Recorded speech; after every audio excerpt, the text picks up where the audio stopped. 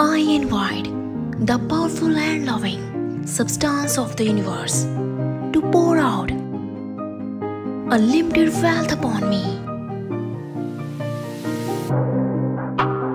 My life is wonderful because there is gold dust in the air. There are showers of blessings and I claim them now.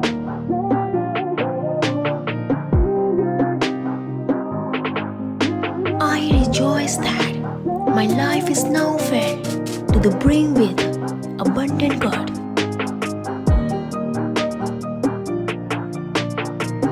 That which is for my highest good now comes to me, and in my clear perception of truth, I welcome it.